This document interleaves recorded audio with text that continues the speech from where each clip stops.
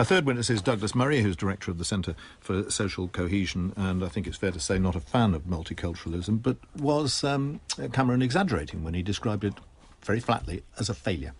No, if anything, he was understating the case. Uh, multiculturalism as a state policy has had a terrible impact on the lives of very many people, including a, a couple of generations of British people who should have expected and should have received better from the British state. Ken Malik. Is it really multiculturalism you're worried about, or is it Muslims? No, it's multiculturalism, I'd say, if it was just Muslims. Uh, well, you have said it's just Muslims. Uh, let me quote you from a speech you gave a, a couple of years Do ago. I really have to be lectured which... by a member of the Revolutionary Communist Party about what I've said or haven't said? Well, let, let me quote I mean, really, let, do let I me, have to be? Let me quote you. Um, I, I if you'd like to ask me questions, I'll tell you my words in my own words indeed, now. Indeed, indeed. Uh, and presumably you're in this programme to answer my question. So let, let me answer. Uh, let me ask you a question. You said a couple of weeks ago, uh, a couple of years ago, that all immigration into Europe from Muslim countries must stop. Yes. Conditions for Muslims in Europe must be made harder across the board. Now, that sounds not like a critique of multiculturalism, but a, vendetta against Muslims. No, if you'd bothered to read anything that I have written, you'd learn something different, which is that if you uh, look at the speech, that speech, and if you look at other things I've written, it's a perfectly clear point. I believe that there's a level of mass immigration beyond which you cannot integrate, integrate people in society. That is the level which this country got to some time ago governments are now realizing this. The Labour government started to realize this. The Conservative government is now realizing this. Uh, that level of immigration was far too high.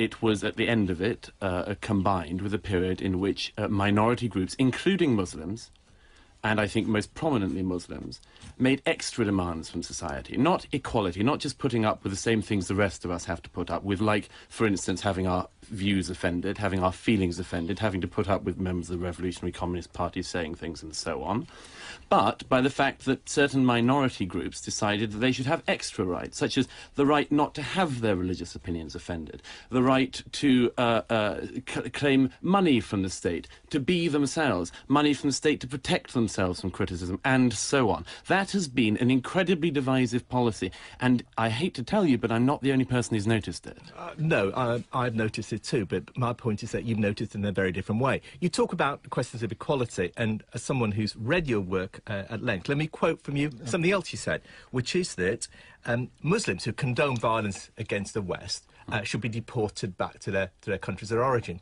But you also carry on to say that if they were born in the West, they should be deported back to the countries of origin of their parents or grandparents. In other words, if you're a Christian, you'd have full rights of citizenship. If you're a Muslim, you would not have those rights of citizenship.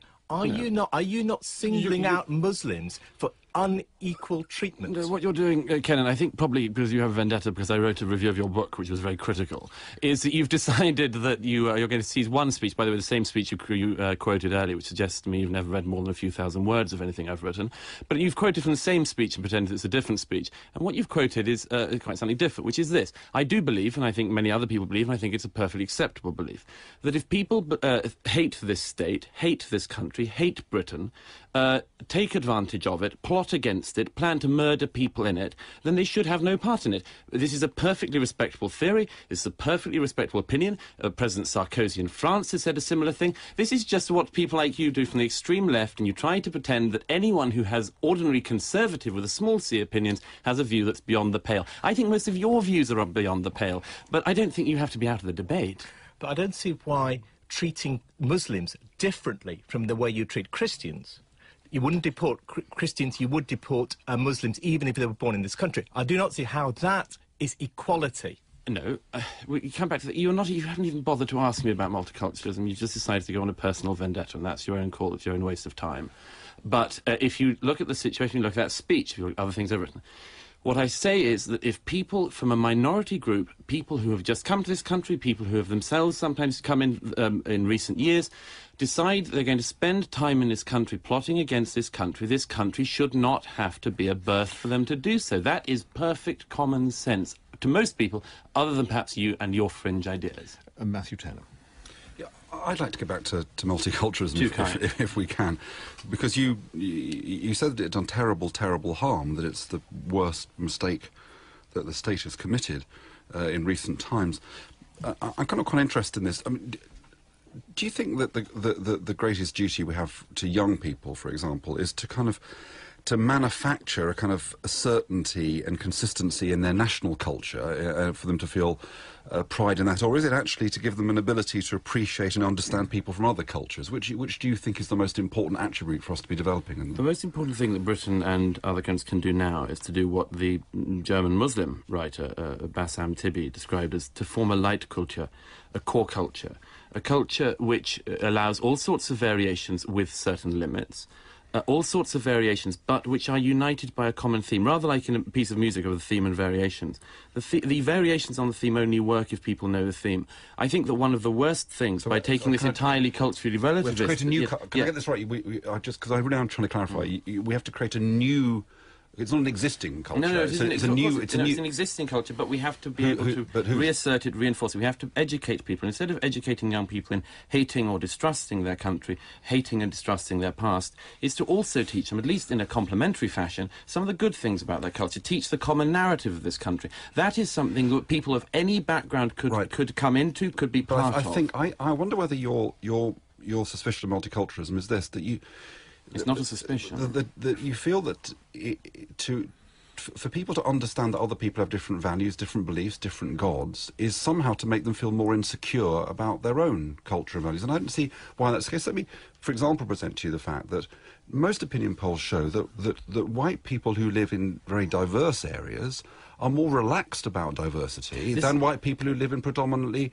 white areas. So it seems that the people who live in multi in this kind of multicultural yes. hubbub no, no, no. are quite kind of relaxed you're, and happy you're, about the it. The classic thing of mixing these things up, if I may say so, that is a, an example of a multiracial area you're talking about, not a multicultural area. Multicult- well, multiracial. Hang on, hang on. May I just may I just finish at least one point? Multiracialism, pluralism, having people of different backgrounds in society is something that I and most of us are, uh, uh, support. But as as we've tried as we've tried to uh, stress several times now, there has to be a unifying idea, a unifying core to that culture, which is in our in our case in Britain Britishness. There are all sorts of debates to be had around that.